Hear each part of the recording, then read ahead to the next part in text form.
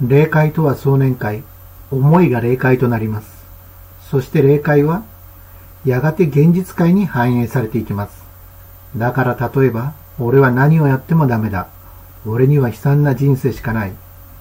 毎日こんな思いでいると、そのような霊界が形成されてしまいます。そしてその思いが現実界で成就し、本当に何をやってもダメで悲惨な人生になります。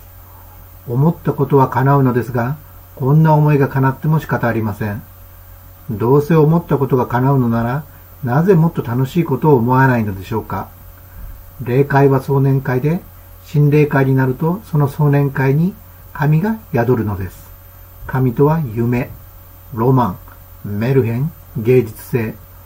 思いが夢でロマンがあり、さらにメルヘンチックで、なおかつ芸術性があれば、心霊界が形成されるのです。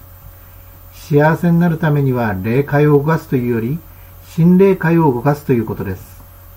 霊界は善悪、吉凶、こもごもですが、心霊界は幸せ、歓喜感動そのものです。だから心霊界を作る、心霊界を動かすような思いでいることが大切です。心霊界に強く働きかけるためには、強く思わなければなりません。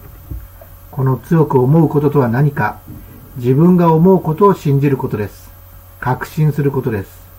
疑いながら思っても弱い働きかけしかできません。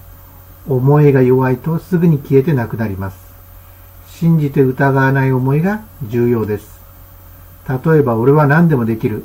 俺の人生は輝き続ける。そう信じきればいいわけです。やがて思いが叶い、そのような人生が訪れます。ちなみにそのための根拠など不要です。自信に根拠などいりません。第一根拠になる人生なんて頼りになりません。なぜならその根拠が揺らいだら自信が揺らぐからです。根拠のない自信なら根拠がないわけですから自信の揺らぎようがないわけです。これが不動の信念となるわけです。これができると心霊界が動き始めます。私は新人合一の道を進んでいますが、かなりハイペースでここまで来て、新人合一までもう直前です。その根拠はもちろんありません。